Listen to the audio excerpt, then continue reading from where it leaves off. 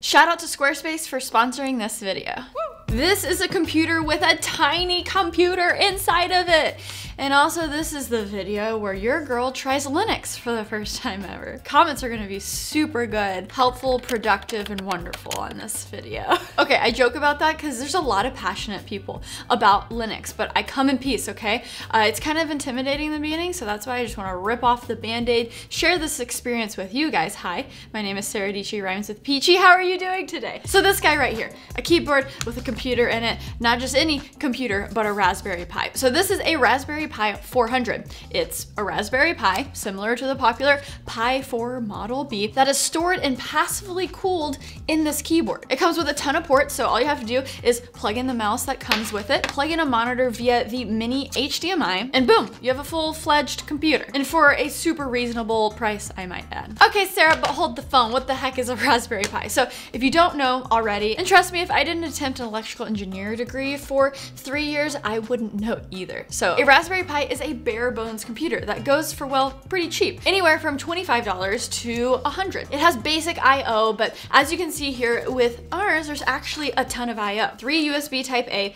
ethernet, USB-C for power, two mini HDMI for dual display support, a micro SD card. This is literally what your computer is booting off. Like if you wanna install an application on it, like you're doing it on a tiny, tiny micro SD. And then under this enclosure here, you have the general purpose in and out pins. So this is pretty unique. They don't all come in a keyboard enclosure. They usually look like this. It's used for general computing, but more importantly, programming. Ours came with this actually really handy Raspberry Pi beginner's guide. And there's a lot of like Python programming how-tos and like how to get started.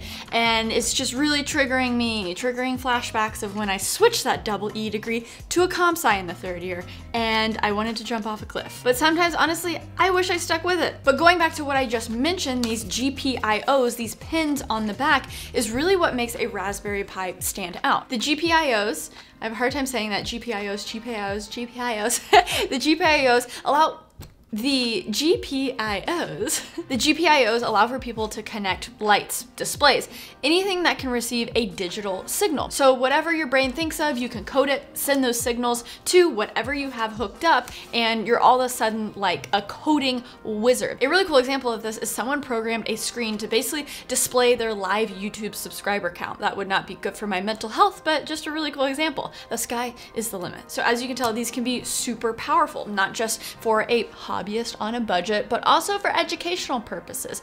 Back in my day, we played with these in college, but I'm sure now there's literal nine-year-olds who can just program circles around any Raspberry Pi. And the last thing about Pis, which is, well, the other point of this video, is it does not run Windows, it doesn't run Mac OS, it runs Linux. Before this video, the only thing I knew about Linux was, well, this penguin, something called distros, and people both passionately love and hate it. They love to hate it, they hate to love it. Um, and well, for good reason. Linux is actually used all the time in workplace systems. So think automated checkouts at grocery stores, ATM machines, electronic billboards, and even the servers that maybe you're watching this video from right now. Maybe probably those servers are running on Linux. It's literally everywhere. Chrome OS, I'm sure you've heard of that. That's used in Chromebooks. Um, you know, the basically very web surfable, cheap laptops that Google makes. Even Chrome OS is just a heavily modified version of Linux. So odds are you've probably interacted with Linux at one point in your life, whether you knew it or not. Side note,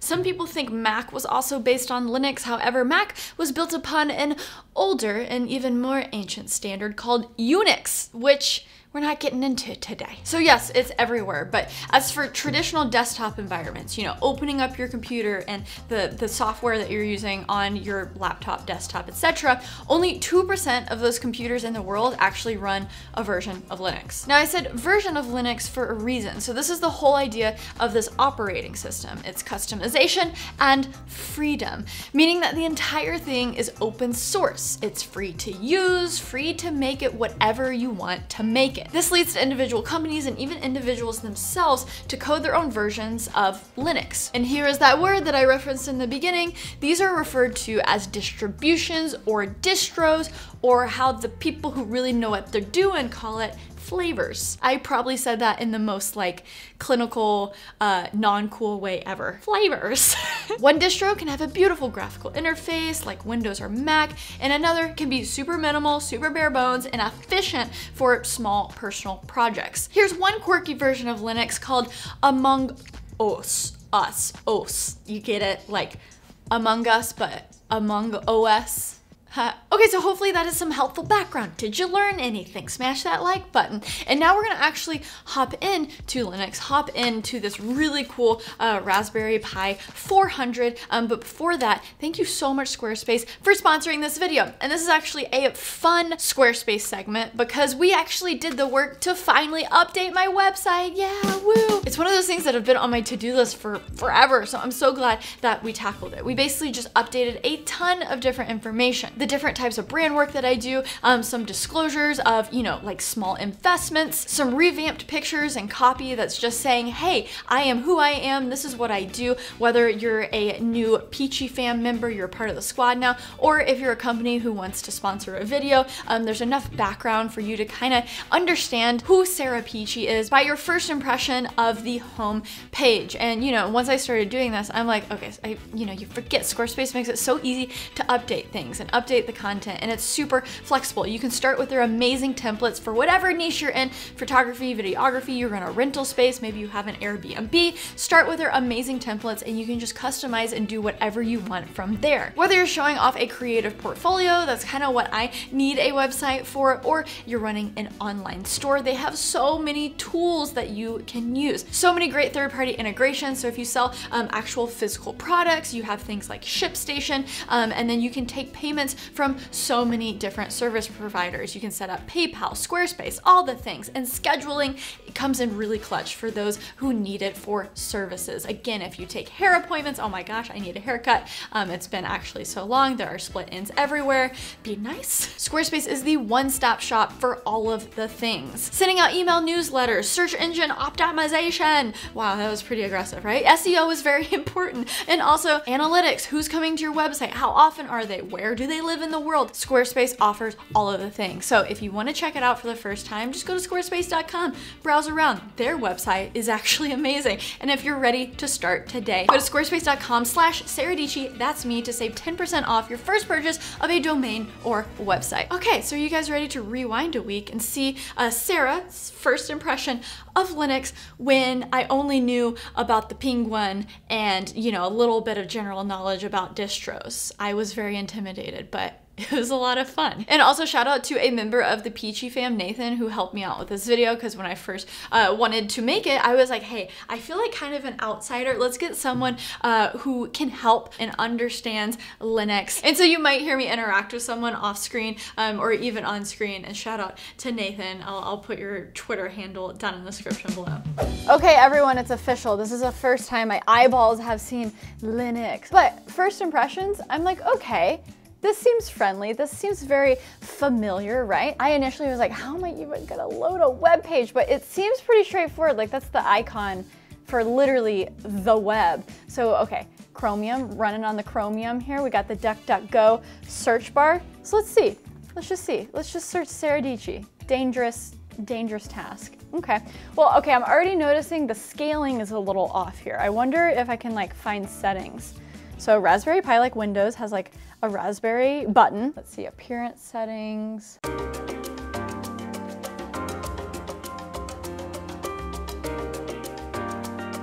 Here we go. It only took me like what, 90 seconds? Okay, that was extremely straightforward. You know, we can't um, we can't be uh, surfing the web when the resolution's a little wonky, right? Okay, good SEO, good job Squarespace. We got my website as the first hit. That's good. I don't know why I'm just Googling myself. Oh my gosh. Let's see what famous birthday says about me. Everything so far seems very normal. Am I, oh.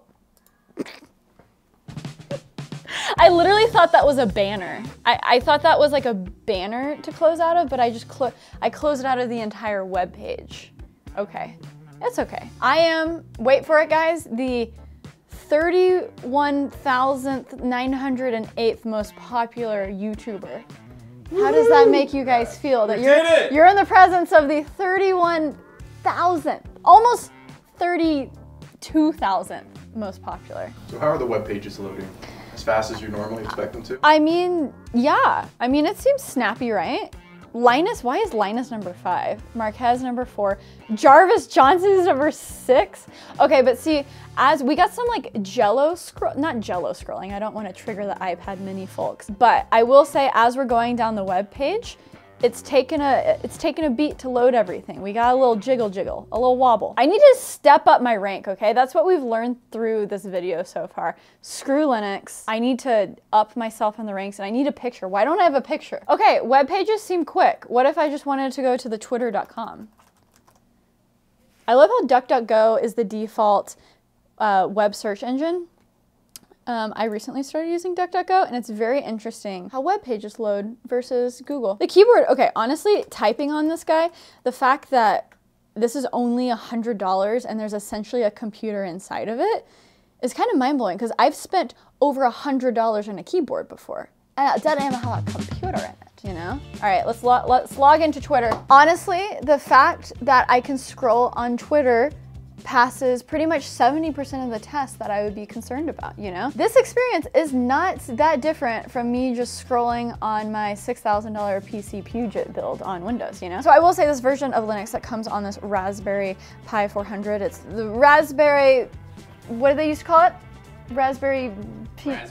Raspbian but it's basically a different uh, version of like a popular, uh, you know, already existing Linux distribution. Everything is like very straightforward. I was actually coming in here thinking that it was just gonna be insane looking, um, but we got Bluetooth, Wi-Fi, volume, the time. Let's try to watch a YouTube video, one of my YouTube videos. Okay, so it's struggling loading just the main YouTube page. So I would say this has taken, that took, that took about maybe 10 seconds? Maybe 10 seconds. All right, here's a Sarah Peachy video.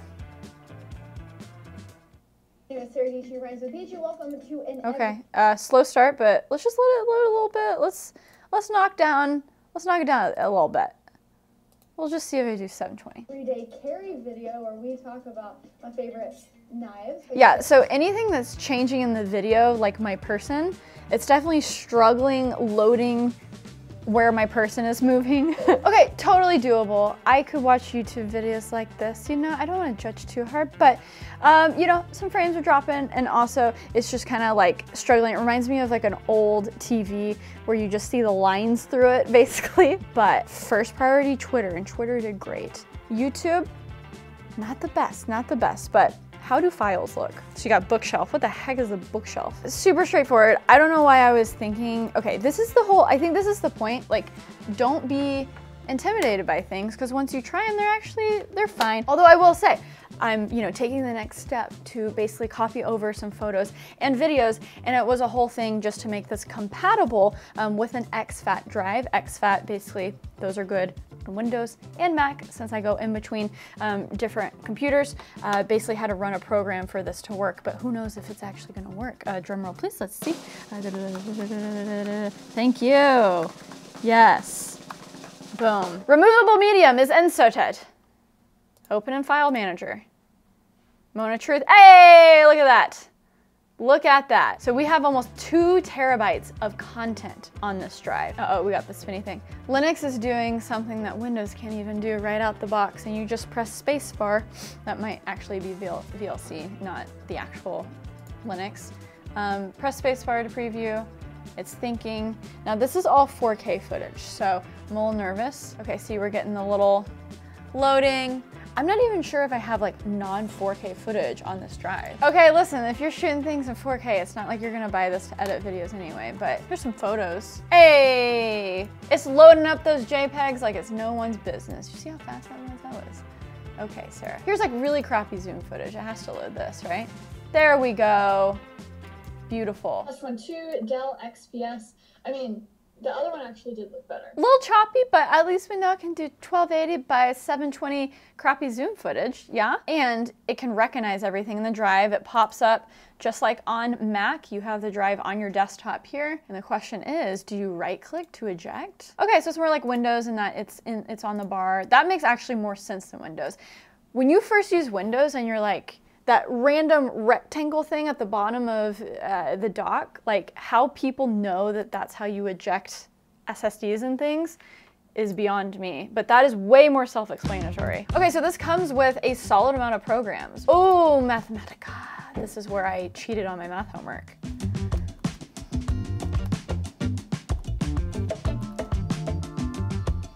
Look at that. So you can cheat on your algebra homework. So we got IDEs, you can get coding. We have, ooh, some rip-off Microsoft Office here. Let's write us a document. Looks exactly like Office. I will say this keyboard does kind of suck. I think I was too nice about it in the beginning, but what can you expect? Games, oh my gosh. Pi Minecraft, oh my god, Python games, wait. Is it gonna like teach me how to code? Can we just like have some flashbacks here? Oh, it's actually a game. I thought it was gonna like teach you how to code via games. Here we go, can I be the computer? I should like do things other than make videos more. Cause like my brain hurts just playing Connect 4. The computer be me. So the last thing that I wanna see, can this actually handle a creative application? Can we actually do an aspect of my job besides I guess we can, you know, open up a Word document, like write a script, we can view images, we can take photos, we can post them on Twitter. Can we edit a video? okay, so we're not gonna be able to plug in the iPhone. So I'm literally going to film a video. I'm going to upload it to G Drive and we'll see if we can download it. So I'm just gonna do a 1080 video. Okay, we are uploaded, so we're going to go to Google Drive. We're using an unsupported browser. Hmm. Is it, it doesn't like that I'm not in Chrome? Mm-hmm. Are you kidding me? So I see it right here, you're working. and it just crashed. Okay. All right. I mean, surely, you know what? I'm just gonna take this one step at a time. Surely you can just log into Gmail, right? Right? Let's see if it can handle the DG Business Gmail inbox. Okay. Oh. Okay, so the fact that Google is like, nah, you're you're not on the right, not just OS, but I guess not on the right browser, which is shocking because again, if you're on Mac and you're using Safari, you can still log into Gmail. It's just like it's not liking this. It just logged me back out. So that's a problem. Okay, so we ran in uh, to, you know, probably the biggest problem about Linux because there are so many different versions of it. Well, very few people support uh, really anything because if you have one application, say take Chrome, right? Oh, if you support Linux, that means you support like five or six or 10 or 15 or 20 or one version of Linux because there's so many different distros. So um, as you can imagine, if you, you know, have any type of software, I'm sure you have support, right? You have people that can help people with issues. Um, and I imagine that's a pretty big rabbit hole. If you're like, okay, what version of Linux are you on? What distro? Okay, what version of that distro are you on? Okay, well, I've never heard of that. What, wait, what is that? Wait, My, uh, What's Snapdrop working? We should try it. Oh, it's working. Snapdrop saves the day again. So for you Windows users, you know, if you've been over in Macland before, I'm sure you love AirDrop you miss AirDrop. Well, Snapdrop is a way you just go to snapdrop.net on your phone and your computer or your iPad and your computer, and they just have to be on the same Wi-Fi network, and you can send whatever you want over it, and boom, it works. Let's go to Files, Downloads. Um, the question is, will it play? Hey guys, welcome to another video. Pause. I need to cut here. Hi. Wow. Look at that! Look at that. Okay, uh, so, you know, we try to install a very simple editor to edit some videos, and you know what? I give up. um, you know, it's challenging installing not only just applications or finding applications that are supported, but also you have to keep in mind all of these things. You know, we have limited memory, um, we have limited storage. Everything is going on the 16 gigabyte micro SD card that is in the keyboard, which is pretty crazy when you think about it. So all of the basic things that we did, it, it accomplished with flying colors. But if you just want to go one step further, that's where, hey, you kind of start to get some hiccups. Um, and I've also heard that there's a distro that resembles um, the game Among Us that I actually, I just want to kind of have some fun right now, if that's okay. I want to take a break from me trying to make this work. Let's just have some fun, guys. So this distro is just on another micro SD card. So I believe I power this down, eject the micro SD. Um, Nathan is going to hand me another one. And do you just like have this for fun?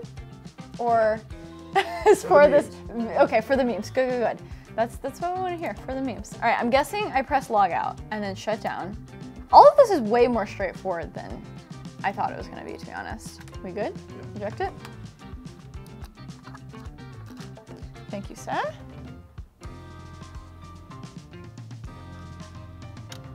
oh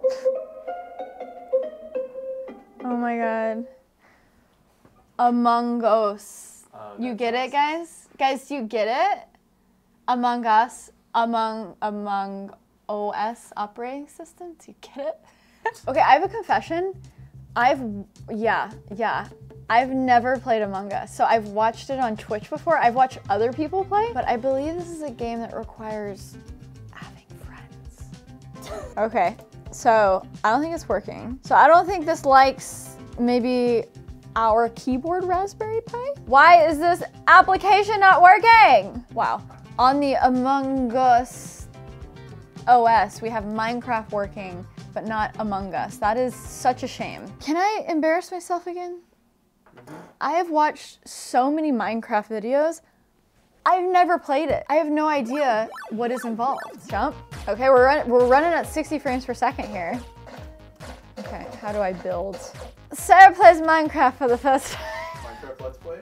Tune in next time where I'll be streaming Minecraft and you'll get these riveting, this riveting content of me making an L out of brick. I feel so old, you know?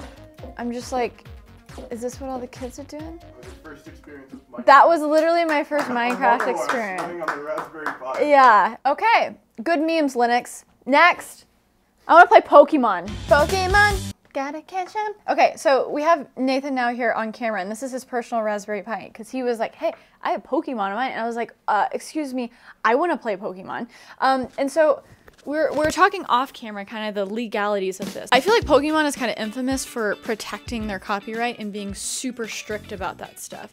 So I guess with this conversation that we've had with Linux and different distros and downloading different software and stuff, is this another, what you would say, gray area?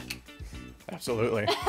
kind of like um, getting those Windows keys for twenty dollars. It's it's definitely a strange area. Yeah, But yeah. if if Nintendo provided these games to from them even for a, a high cost, I think the the emulator community would go down by like 30%. Hmm.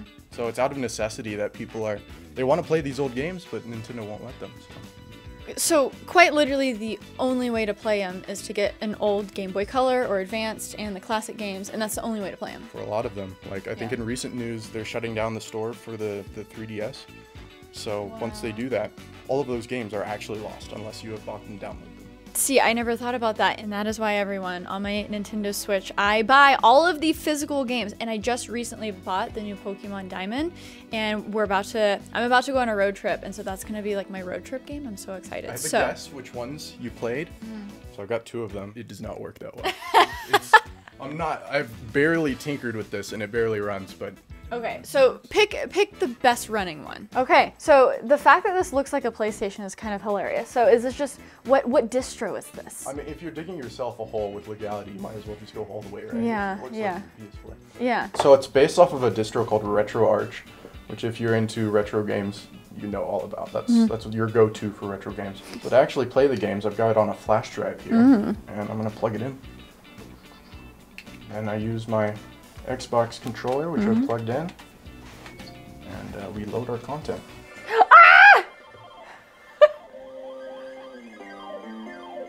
Oh my god.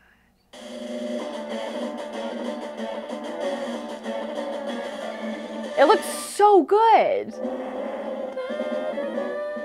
Okay, so I'll see you guys in four hours, all right? I would always, um, when I played this, I would always say I'm a dude, and I would just be Ash. Yeah, Ash is the best. Yeah. Hey! How much is how much is just the most recent Raspberry Pi? Obviously, without accessories and things. The most recent one is this one here, uh, in terms of like the full fat Raspberry Pi. There Right. are different versions. Mine is a 4 gig model, which is like the normal. Uh-huh. You can get it in 2 gig, 1 gig, and 8 gig. Um, I just go with 4. But it should be around 100 $130. And then you can just download this for free. Yep. I win! Yeah, you picked the wrong Pokemon, freaking loser. Oh, Oh, oh, we made it oh, we made it through! Ah! PG, nice. Now we have a mission. Now we have purpose. See, that's what I like to do. I just like to go for the missions. Yeah, gotta deliver Professor Oak's package. Here you go, Professor Oak. Oh, he's giving me my Pokedex. Okay. I all of a sudden have the urge to lock myself in a room, put put in Pokemon Diamond, turn on the Switch, and never talk to you guys ever again. Just kidding. I'm really excited to play that game though. I've been saving it. I know it's been out for months, but I've been saving it. So um, back to future Sara. Let me know if you like this video. Hit the subscribe button down below for new videos every single week. And until next time, everyone, stay peachy. Check out my Squarespace link. Okay, bye.